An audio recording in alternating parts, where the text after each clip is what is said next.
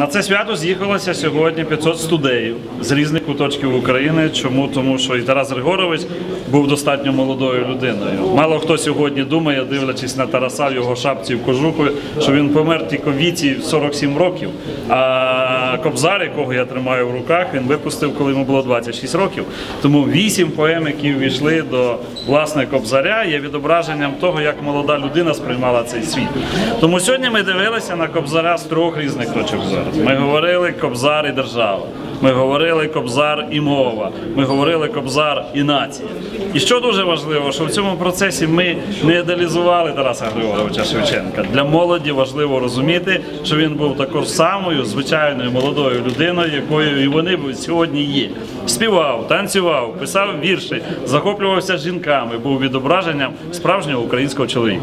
В моєму серці дуже відкарбувалася поема Тополя. Чому? Тому що я її читав три роки тому, коли ми проводили до 200-річчя народження Тараса Григоровича загальнонаціональний марафон.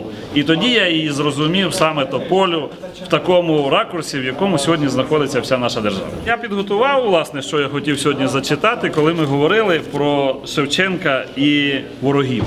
Тому що ми почали тільки дивитися на зовнішнього ворога. Я гортав, гортав і хотів знайти те, щоб відобразило, можливо, стан і мій у процесі тої роботи, в якої я знаходжуся на сьогоднішній день. Так от, не так ті вороги, як добрі є люди, і окрадуть, жалкуючи, плачучи, осудять, і попросять тебе в хату, і будуть вітати, і питать тебе про тебе, щоб потім сміятись, щоб з тебе сміятись, щоб тебе добити, бо з ворогів можна у світі як-небудь прожити. А ці добрі люди знайдуть тебе всюди, і на там світі добряги тебе не забудуть.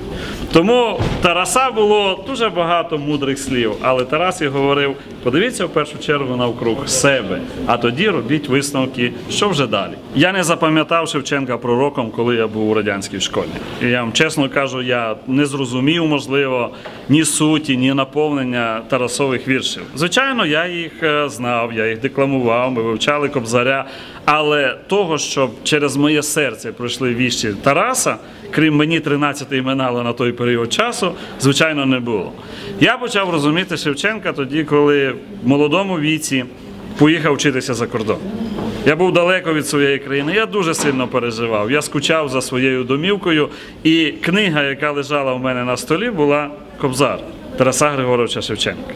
От тоді я почав його читати, розуміючи Тараса малого, який в 11 років поїхав із своєї домівки разом з паном їздити по всьому світу, не маючи ні батька, ні матері. І власне Тарас у Кобзарі, якраз от перша збірка, де вісім поем, це скоріше Тарас, який відчуває тугу за своєю родиною. Але оскільки батька матері вже немає, то це туга була в батьківщину, в Україну.